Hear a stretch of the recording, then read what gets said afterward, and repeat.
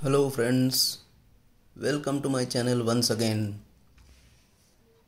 Now today we are going to see the transcription process in genetics. Before the transcription starts, there is uncoiling of DNA by enzyme helicase and coiling tension is removed by two enzymes topoisomerase and SSBP single strand binding protein. We come to the first process called initiation. This is initiated by a small segment of DNA known as promoter.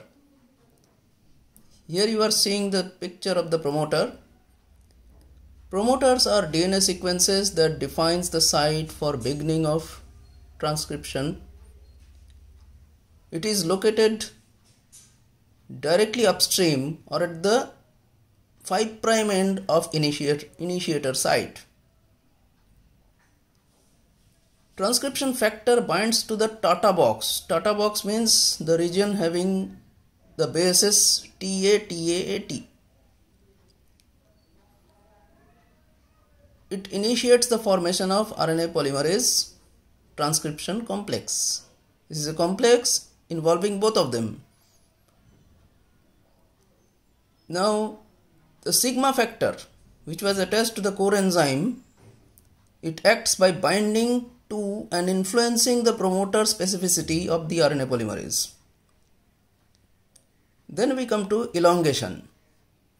Elongation, here RNA polymerase moves over the template 3' to 5' strand, that is called template strand, in 3' to 5' direction and adds new ribonucleotides in the 5' to 3' direction. As RNA polymerase moves, the open transcription bubble also moves. At the leading end of the bubble, DNA helix is being unwound, while on the trailing end, the single strands are rejoined. Hence, the bubble is of fixed number of nucleotides. Always. If you consider the difference between replication and transcription, here we have two differences right now. In replication, the separation of DNA helix is permanent, whereas in transcription, the separation is just temporary. The second point is in case of replication, basis of newly formed DNA is attached to the DNA template, whereas in transcription, the 5' tail end of RNA chain is separate from DNA. We have to remember that synthesis of mRNA always occurs in 5' to 3' direction. Now the third and last part of transcription is Termination. Termination in prokaryotes may be of two types, either of the two. One of them is rho independent termination which is found on the DNA template strand. In DNA template strand we find a string of adenines in the DNA sequence that are transcribed into uracils in the RNA sequence that is formed which pair weakly with the adenines thus forming a hairpin like looped structure. Or the other way around it is the rho dependent termination. Rho dependent means there is going to appear a rho factor at the termination site where the trans transcription ends. Now as you see the structure of mRNA. Here UTR represents untranslated region. In 5' untranslated region of the prokaryotic RNA, there is a consensus sequence called Shine-Dalgarno sequence or called SD sequence. It is the site for ribosome binding during translation. So SD sequence helps in ribosome binding. After transcription there is going to be some modification post transcription modification The newly formed RNA is called nascent RNA or hnRNA or heterogeneous nuclear RNA.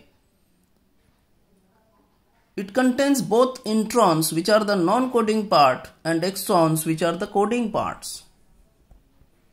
Now the very first thing we have to do is we have to remove these introns which are non-coding part because we don't require them for translation.